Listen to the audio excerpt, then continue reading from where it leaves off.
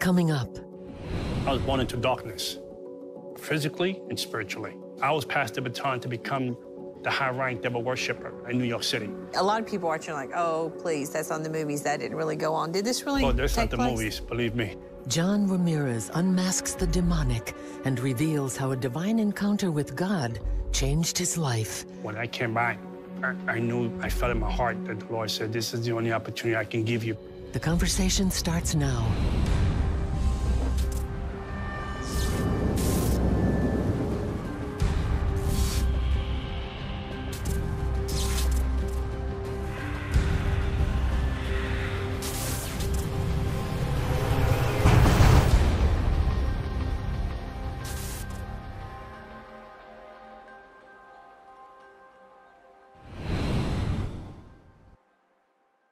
What does it take to overcome darkness, and is there real power in the dark arts? Today, we're taking a look inside the world of the occult to expose the truth about its power and weaknesses. Joining me around the table is Rachel Lamb. Are you interested in this subject today? This is very interesting. Not a lot of people are talking about stuff like this, Yeah. and I know it's something that's, you know, people encounter this every day. It's it's all over TV now. It's you Yeah. know, in, in our world. April Simons, how Hey are you? I'm doing great. Excited about the show. yeah, this is good, isn't it? It is. It's good for us to hear as the body of Christ. Yeah, and to talk about it. Oh, definitely. Yeah. Cindy Murdoch, Hi there. are you ready? I'm ready, and I realize what will be unveiled and revealed today that we need to really walk in the authority of the power that's been given to us because darkness is real. And to talk about that today is uh, John Ramirez. Welcome to the table. Thank you so much. Thank you so much. I'm like, wow, I'm blessed to be here with you. Thank you so much. Well, for John Ramirez, the occult is not just a spooky topic he studied. He grew up surrounded by witchcraft, spells, and rituals, and in fact, rose to the level of high priest. But despite all the power he had gained, he would find there was still a power greater than he'd ever known. Now, I know the enemy hates it when we expose him, and that's what we're going to do today. For those of you that are dabbling in any of this type of stuff, or you have a family member that is, I really want you to pay close attention. But let's go back to the beginning. You were born into a, a family where some of this ritualistic stuff was going on. Talk about that. Yeah, I, I was born. Um, I was born into darkness, uh, physically and spiritually. A broken home, broken family, uh, abused dad. I grew up in that kind of environment. Uh, my dad was home; he was still absent. There was no love in the house. Uh, there was cruelty. Beat my moms all the time. My dad was my dad was an alcoholic. His grandfather was an alcoholic. Generational curse. Uh, and on top of that, to, to put the icing on the cake was all demonic witchcraft from Santeria, from spiritualism, from uh, communicating. They call it the dead, but it's not the dead. It's demons, familiar spirits. So mm-hmm. all that stuff. The age of eight years old, I was already in, in engulfed in the dark side. I'll see demons walk in my house like it was mm-hmm. family. Mm-hmm. I'll see shadows. Someday I'll see people. Were some of them gruesome looking, normal No, looking? no, very. I I tell you, when I used to meet with the devil in my later years, the devil was very charismatic, very handsome looking. And, and, and as you know, the Bible says he was an angel that was very beautifully made. So he'll come in that form of a human, charismatic, very elegant, very well spoken. So you had a volatile relationship with your father. Yes. Um, tell us a little bit about that. He it had a huge impact on you as a little boy. Oh, absolutely. I mean, it, it was a home that it was just. I mean, it was it was silent pain at home.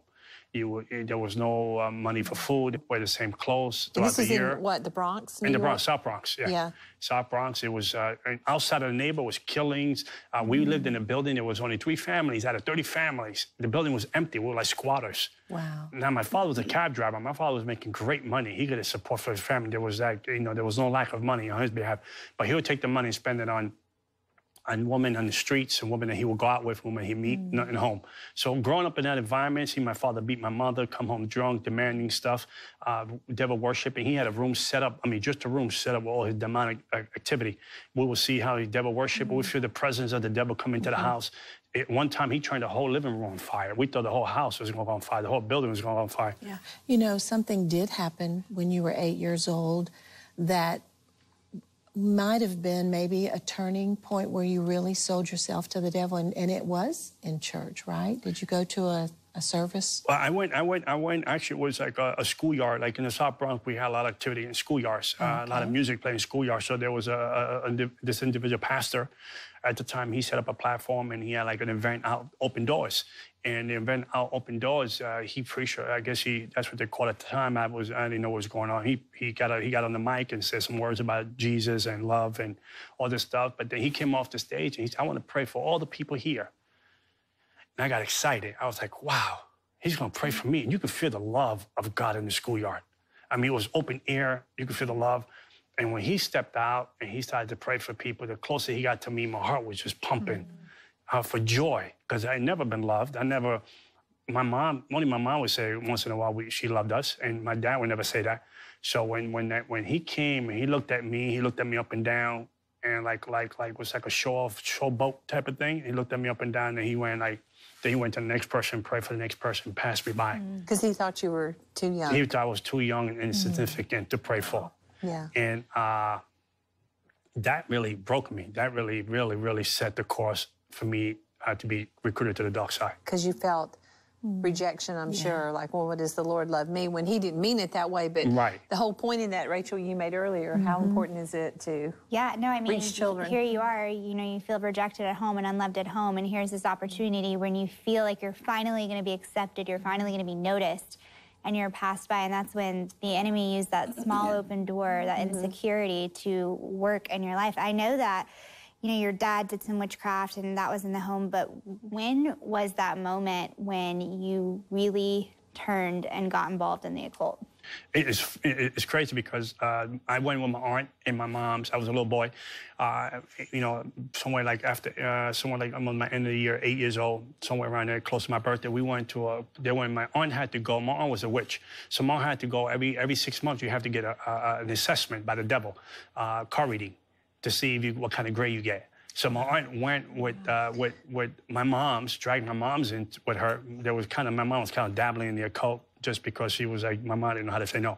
Right. And out of and fear. they would do these like tarot cards and tarot that kind cards. Of stuff. Yeah. They would do uh, parties, occult parties, occult rituals. Mm-hmm. So they dragged me into which this are lady's all very house, dangerous. Which by is the way. everything is dangerous. I mean, yeah. you can still be in three foot of water and a shark can still get you. Yeah. yeah. So, so any any anything with the Ouija board, any tarot card, any anything anything that that, that points to the occult is dangerous because mm-hmm. it's just open door, open portal, an opportunity for the to get legal rights over your life. Right. So, mm-hmm. so when I went to this place, the, the lady was drawn to me and she started, started reading the cards to my aunt. She told my mother that if I didn't do this, this ceremony, that's when I was going to lose my eyesight. Wow. So my mom saw her, mm. all her furniture in her, in her bedroom to, for 250 bucks to do the ceremony for me. And that was my introduction to lose my whole childhood. And I went to the dark side. Wow. Mm. At 13, what happened? At, at 13, I my my dad uh, my dad it, it, I was we were sitting in the living room. My mom's uh, some people, and my aunt coming busting into the doors. They killed Junior. And my dad got shot in the face for a woman that wasn't even his at the age of 33 years old when he had a good wife home. Oh, and my wow. dad passed on. And then I, I, became the high priest of the home. Mm. Wow. You know what is interesting to me out of all this, it's, it's so hard for at least me to relate because mm-hmm. I was mm-hmm. raised in a Christian home, but yeah. it just shows me that not only does God have a plan for your life, but the devil also has a plan for yes. your life. Oh, it's yeah, our choice. absolutely. Mm-hmm. And so in all this, like, I, I even wonder how you, being raised in this home, how did you ever get to church at eight? And then did you ever, through at 13, were you ever encountered with Jesus? Well, the, the, the, church the church situation was something I went to the schoolyard was... to play outside in the playground but uh, the, the, the pastor was there doing an event. Okay. So that was my only encounter with the church. Mm-hmm. After that, was just gruesome darkness, and and and then at the age of 13, my father got shot in the face. We went to his funeral, and and the crazy thing, we went to my dad's funeral. You had like 50 something women show up to the funeral. Wow. That was like a slap in the face for my mom, my family. Wow. And then the devil said, "Now you're the high priest." Now, and then and then when I was younger, I remember I was laying in bed two in the morning, three in the morning to go to school, and I would get up and, and pray. And I pray, I will, I will pray to the devil and say, kill my dad, and I'll become the next high priest. So the devil said, I kill the old to um, kill the old to take the new. Wow. So my dad died at 33, and I became the high priest. How did you hmm. feel like when your dad died? Because you never got that kind Peace. of reconciliation with him. Hmm. Never, you know, I think at the moment, uh, because the torment in the house, mm-hmm. the, the abuse in the house, the physical, the spiritual abuse, the love not being there, I felt a sense of peace because now he's gone. My mother don't get beat up anymore. Hmm. Now love will come into the house. We'll probably get some good clothes. There was Christmases that we would get up in the morning. There was no gifts under the tree. So, so, so all that stuff. I said, now my dad's gone, and we'll, we, we, we're gonna be able to celebrate like a family. Mm-hmm. So, talk a little bit about um, how you then moved into that role as, as a high priest in the satanic occult. And would you gather others around and do these rituals? And I mean, a lot of people watching are like, oh, please, that's on the movies. That didn't really go on. Did this really Oh, that's not the place? movies, believe me. Mm-hmm. That's the, the, the, the devil is just as real mm-hmm. as, as, as the sun. And, I, and the, devil is, the devil has his kingdom, and it, and it runs by military ranks. The, Jesus has his kingdom, and you have to make a decision who you want to give the soul to, mm-hmm. who you want to give your life to. And, mm-hmm. and, uh, and, and running into this whole thing and going to the occult. Already at the age of eight, I was already going to demon church.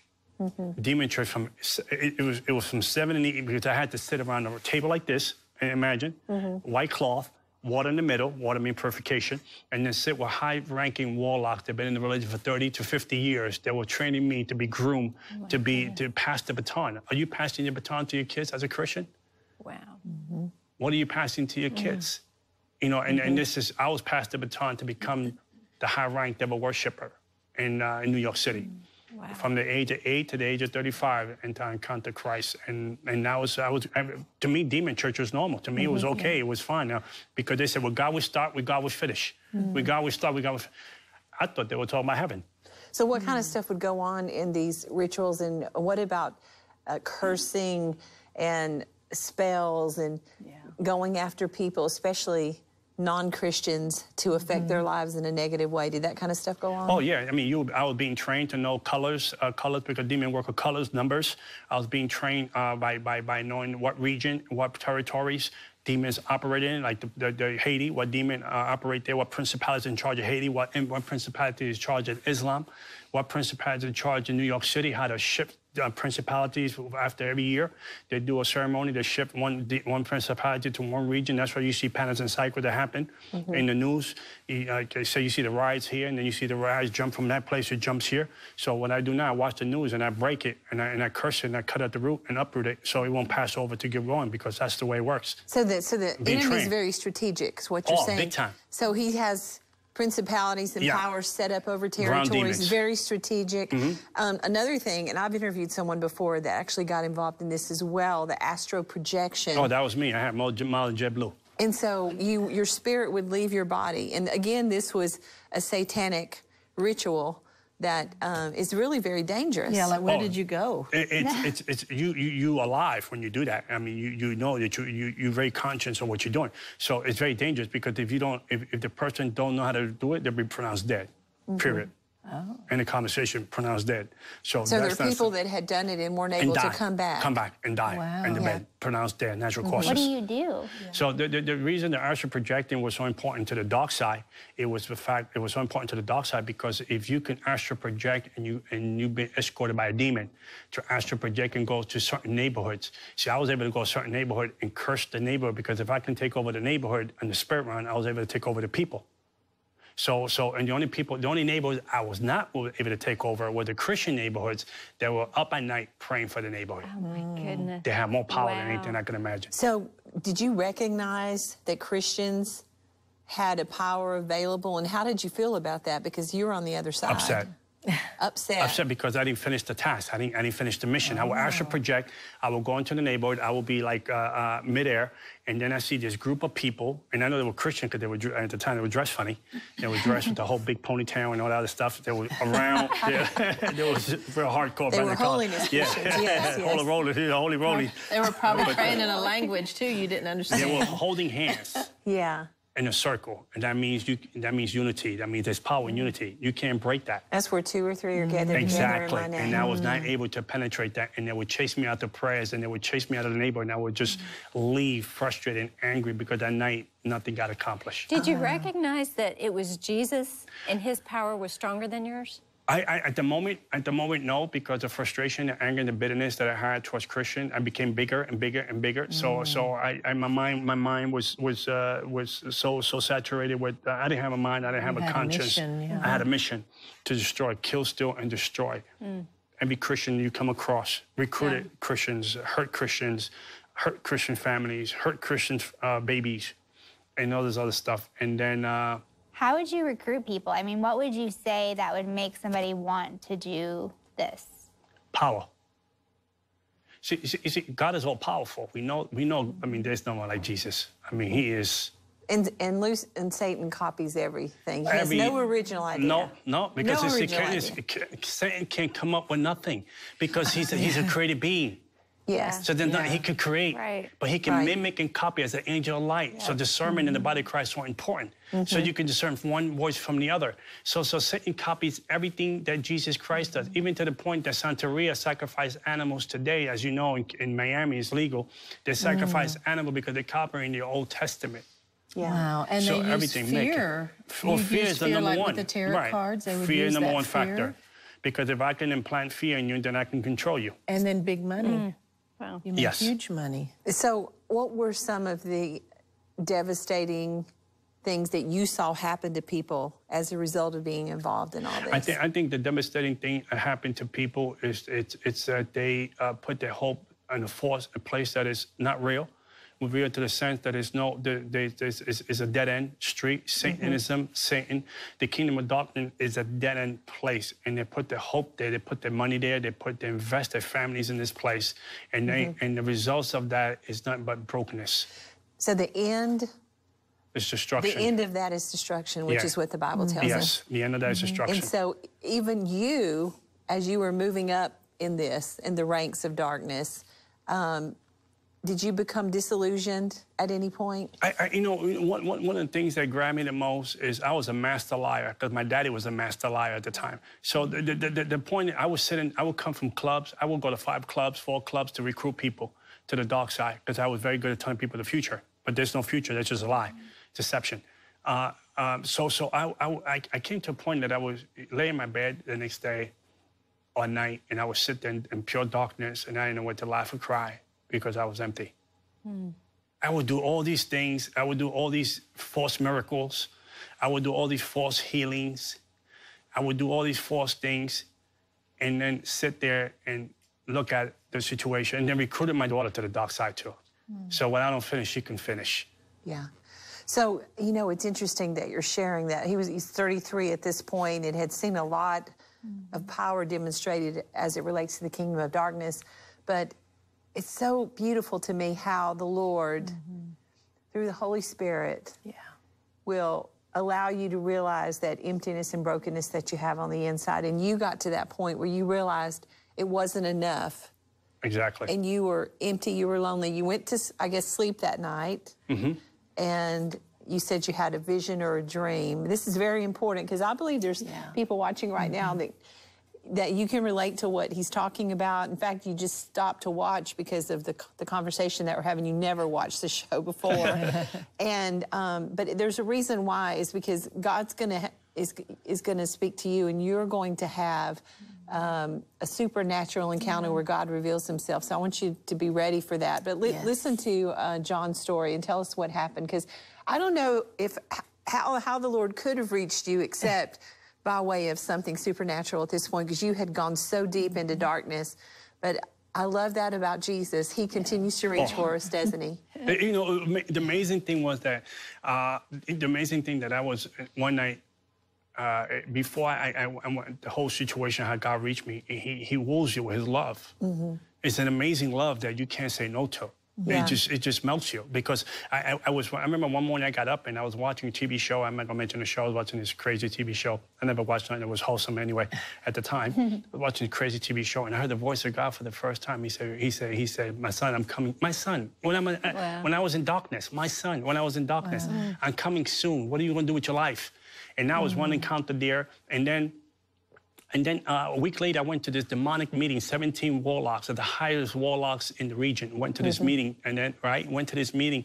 And, and, and the thing was that it was, it was like 10 degrees outside in New York City.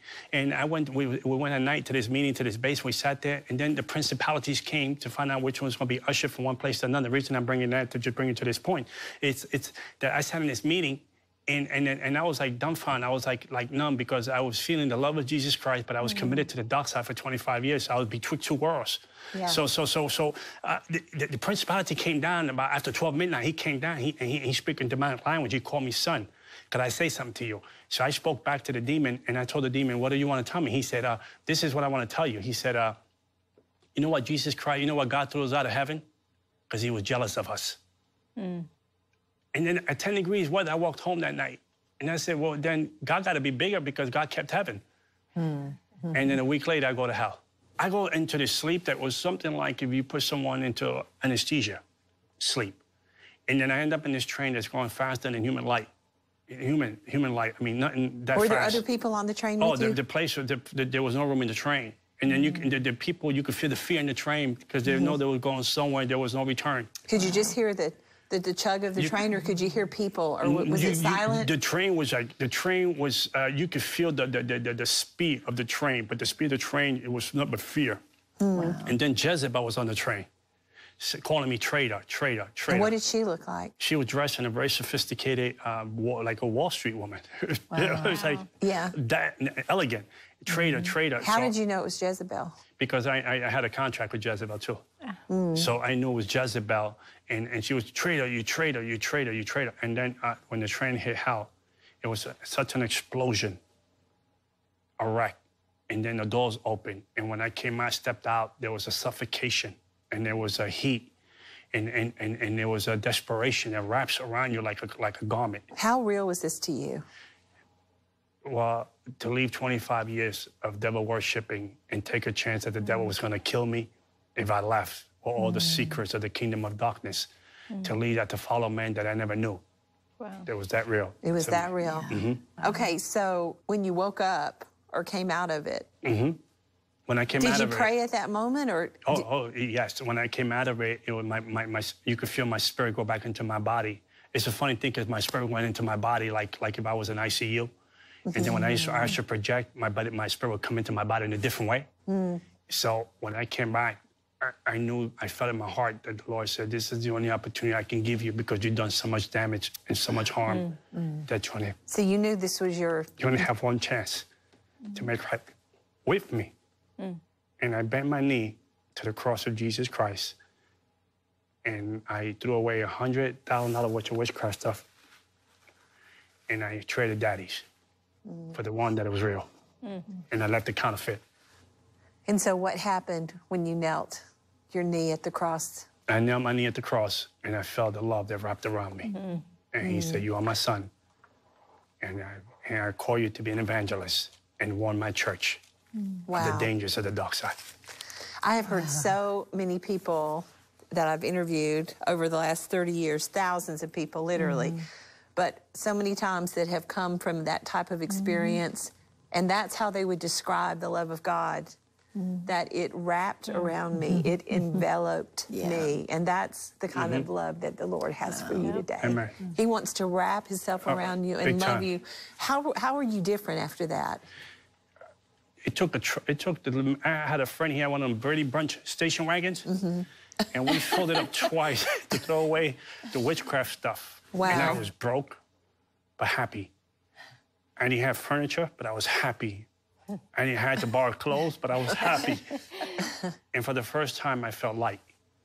I was felt going to say, like, I see the light in your eyes. Did people know, people that had known you, were they like, John, what has happened to you? Oh yes, I mean I got people to tell me right now, your eyes are different. Your eyes are They- different. Yes, What they did the- sparkle. what did the warlocks do? Because you have all these people that have invested all of this into you. Mm-hmm. What do they have to say Because, of course, about they would immediately turn against you. Oh, this I got a phone call last December from the, the, the, the from the people in Miami, and they said we hate you. Why are you mm. still exposing us?